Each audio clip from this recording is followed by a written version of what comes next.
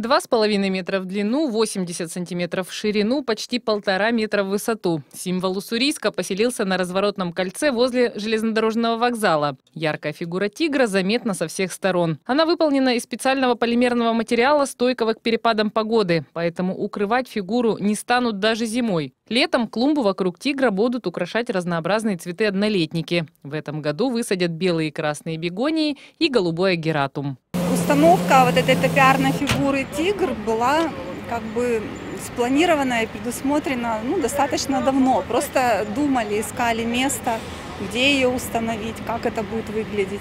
И в конце концов пришли к тому, что эта фигура будет установлена здесь, в окружении цветов, таких же ярких и красивых, как тигр.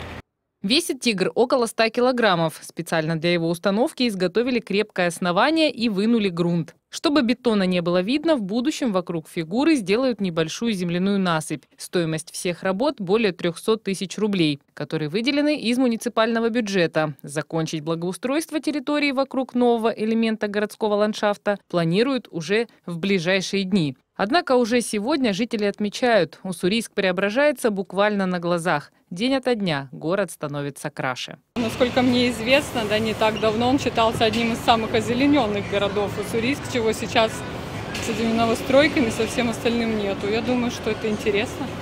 Нравится вам? Мне нравится лично, мне, да, озеленять и рассаживать деревья, кусты надо по-любому. Так же, как и делают площадки сейчас, однозначно надо.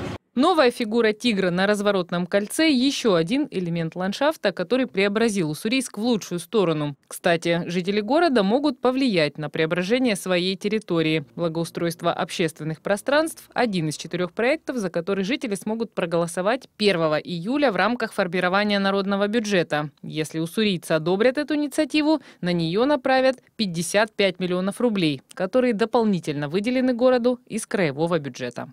Светлана Садовая, Роман Адонин. Телемикс.